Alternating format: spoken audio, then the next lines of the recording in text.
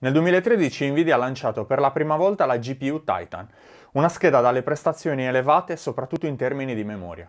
Una scheda video pensata anche per creatori di contenuti video e non solo ai gamer.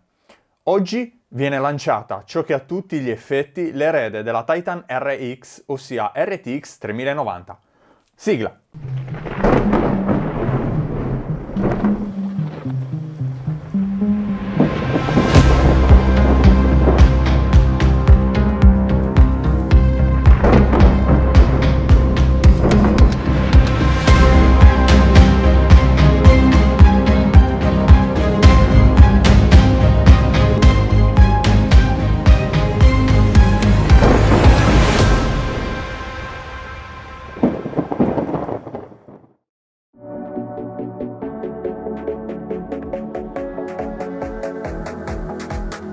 Ciao a tutti ragazzi, io sono Alessandro e con me oggi ospite d'onore la nuova RTX versione Trinity prodotta da Zotac, un forattino che è un concentrato di tecnologia.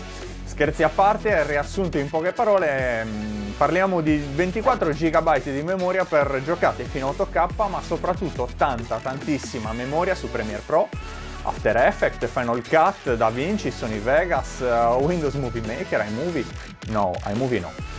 Senza entrare troppo nello specifico, CUDA core, memoria passante, dati vari sono facilmente reperibili online. Oggi voglio fare un unboxing puro per darvi qualche dato generico e farvela vedere montata eh, sul mio attuale rig, parlando esclusivamente di questo modello prodotto da Zotac. Per prima cosa tiriamo fuori tutto quanto. Qua su in piccionaia dovremmo esserci, iniziamo ad aprire.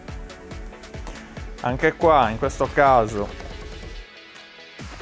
la sto aprendo per la prima volta con voi. Non è vero.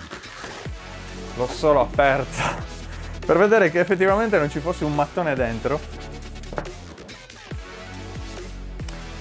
Allora, abbiamo scatola molto minimal qui immagino ci saranno adesivi e modulistica varia ma ciò che a noi interessa è sì, cavetteria che poi ce ne occuperemo. Mettiamo tutto al suo posto.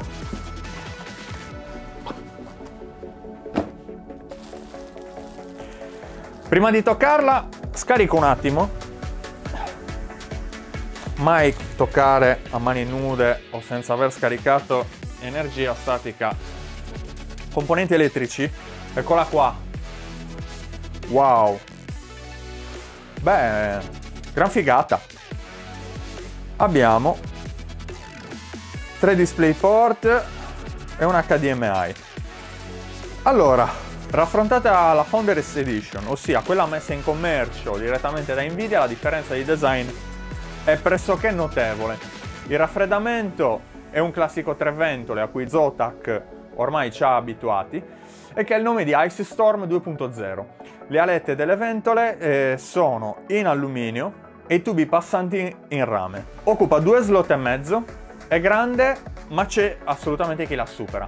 Dietro abbiamo, come detto, tre DisplayPort e un HDMI. Nella parte superiore il logo che sarà retroilluminato in RGB, customizzabile tramite l'app.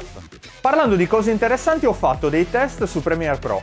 Ho effettuato un rendering con la 2080 e cronometrato il tempo per completarlo, poi ho eseguito lo stesso test con la 3090 ed ecco il risultato.